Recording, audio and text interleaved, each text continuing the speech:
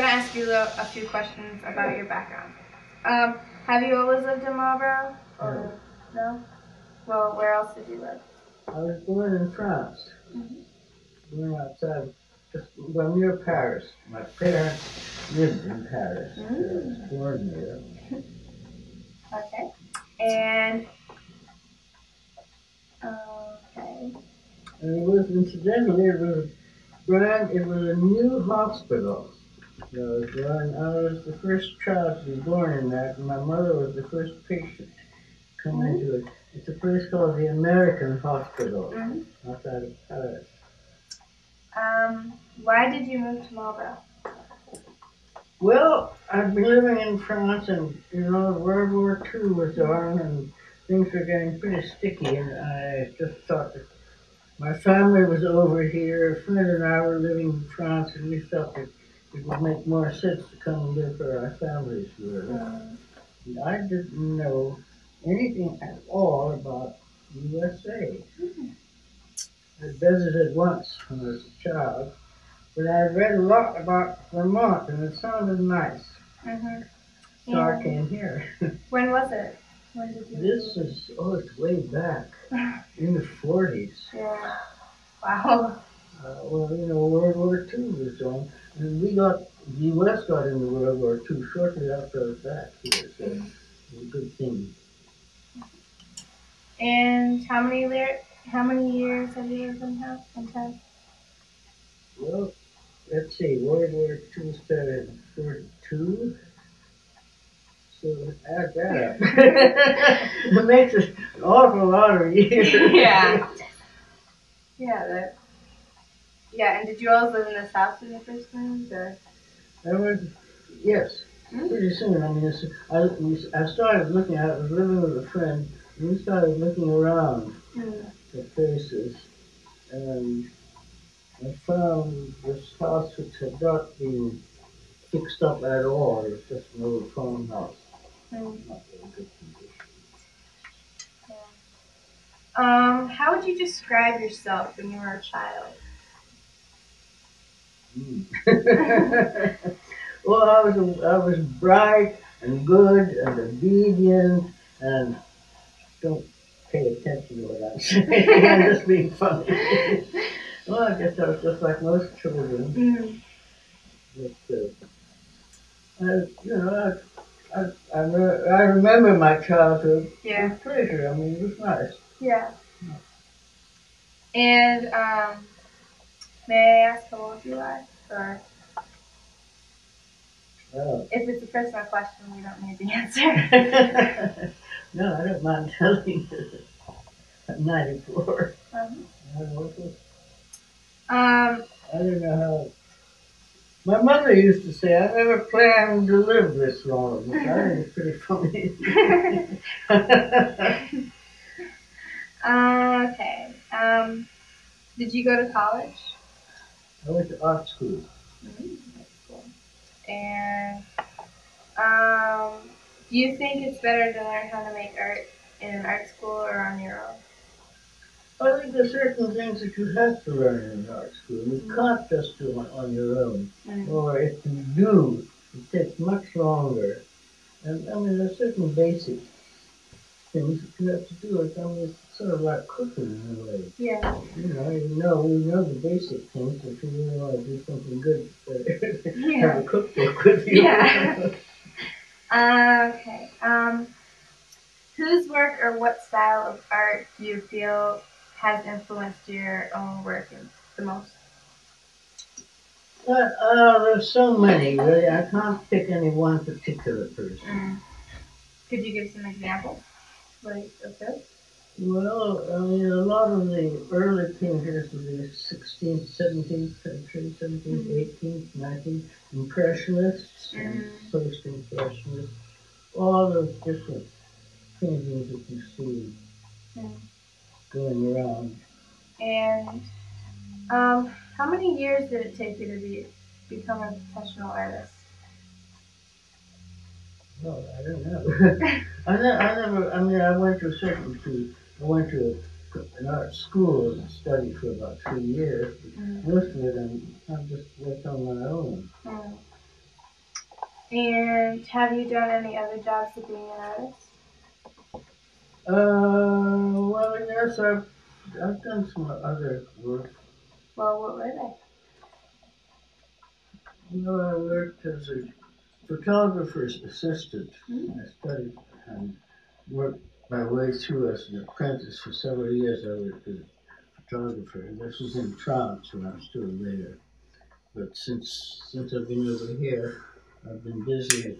Well, a lot of the time getting the house in order and raising enough food and all that kind of stuff had to do during World War II. Mm-hmm.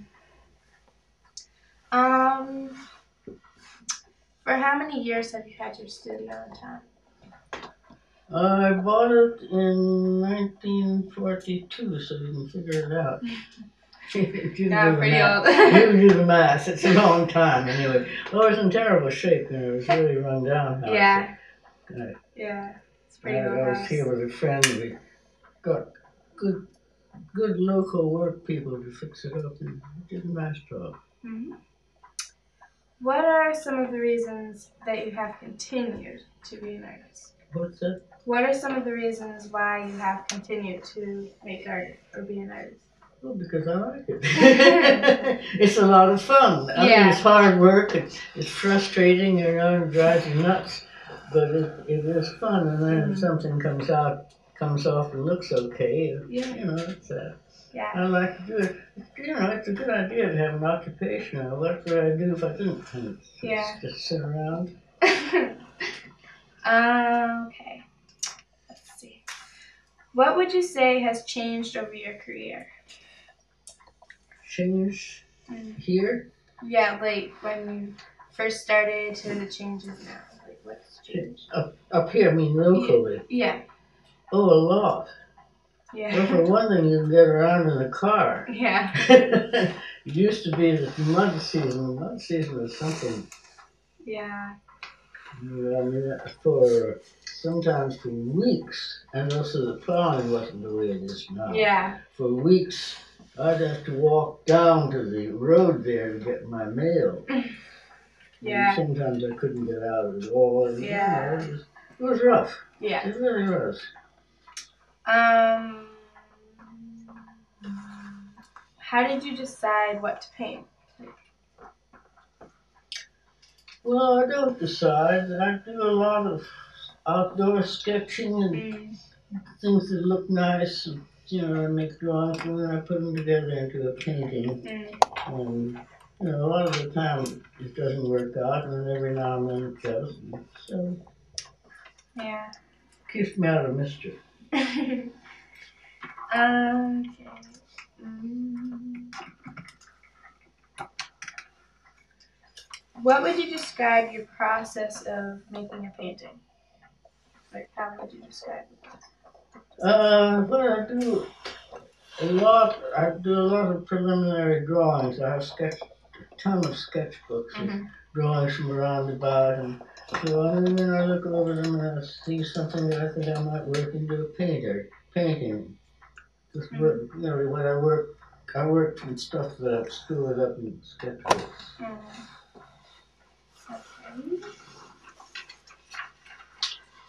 Okay. What have you worked with, or have you worked with other materials and paint? No, I mean it's I mean it's mostly in the drawing, drawing and painting field. Yeah. I haven't I haven't really worked I haven't worked in sculpture and Mm. anything else. Okay. What people are express or experiences would you say have influenced you in your personal life? In a way, yeah. Well, I mean an awful lot was of course I had not I had expected to go on living in France. And so I would say that maybe World War II was what shook things up most. Because that's when I came over Mm. and decided that, you know, I'd be living here for quite a while. And I thought perhaps I'd go back to France. Then when I settled down, found a house and got going, and I decided I might just as well stay here. Yeah. Um, um, do you sell your work in galleries or from your studio? I always hope to. Sometimes I do. Yeah, I show some. I show. I've shown in New York City, and I've showing in Brattleboro too. There's, Mhm. there's a gallery there. Yeah, yeah, the art gallery. Um, who is a typical buyer of your work? It's difficult. A typical buyer, like who? Typical? No, no, I never know. I mean, people have bought things, and I mean, I have a, a list of all the people who. All the paintings I've shown the people who bought them, and it's a very mixed lot. Yeah. I mean, some were in New York, and some are up here, and Mhm. some are elsewhere in France. Um, could you describe a typical day at work? Well, well, I usually work in the morning Mhm. before I get, while I'm still fresh and. you know. Yeah. So usually I'll, I'll work upstairs in my studio in, in the morning from about, let's say, nine to twelve, nine to one, sometimes again in the afternoon. But Yeah. That's usually my work day is about four or five hours. Um,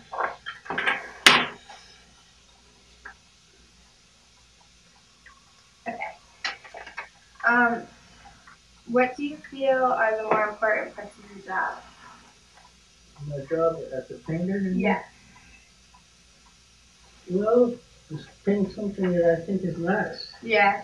And, you know, that's not as easy as all that. so it's just, you know, it's just a thing that I do because I feel it's, it's what I'm probably best at doing, at least what I want most do. Whether it's good or bad, I can't say. That's for other people to decide. Yeah. Okay. What are some of the parts of your job that you like? Well, of course you like to paint and make. Yes, I paint and make drawings. And, well, I like the garden. Very fond of gardening. I like to have a nice garden. So, you know, but with all that, it's busy. Yeah. Are there any parts of, of your job you dislike? Well, not really. Yeah. I mean, I don't, I mean, I like it better when something turns out well, and I'm not very comfortable when it doesn't, but that's part of how it goes. Yeah. Okay. Um, what do you see as the future of your work in Malta? Well, I don't, I mean, I don't, I, I think that I'm known as a painter here, but, you know, there's no, then some people have bought paintings and don't I mean, it's not a place where you're going to make a big reputation. After all, it's a pretty small Yeah. town, you know. But I've also exhibited in other places, I have in New York and so on. so- Yeah. Um, is there anything else about your life or work that you'd like to mention that I haven't asked you about? Well, I can't really think of anything offhand. I mean, I like to travel very much. I- I've traveled a lot in, in Europe and in the States too. I visited a lot of interesting parts of the USA. Out, I've gone out to um, Arizona a couple of times. and visited. You out there? Yeah, my aunt actually lived out there for Bisbee, Arizona. Bisbee. Uh-huh, uh-huh. Yep. So you, you were out there visiting her? Yeah. I don't know how, I think it was like six. Well, you probably don't remember a whole lot of I don't remember a lot, no.